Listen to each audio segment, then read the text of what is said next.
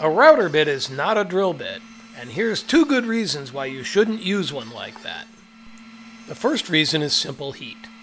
At 10,000 or more RPM, you're just making a lot of friction, which is going to burn your wood and your bits.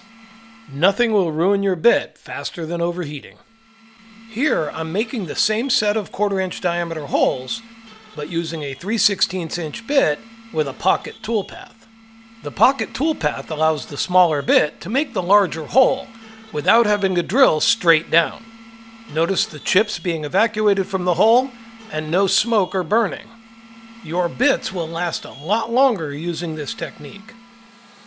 The other advantage is that this technique allows you to mill a wide range of hole sizes without needing a tool change. The process is called interpolating the hole, and within reason, it allows you to do a wide range of hole sizes with a single bit and no tool changes. Learn more about this technique and many others in my book, Beginner's Guide to CNC Machining in Wood, from Fox Chapel Publishing.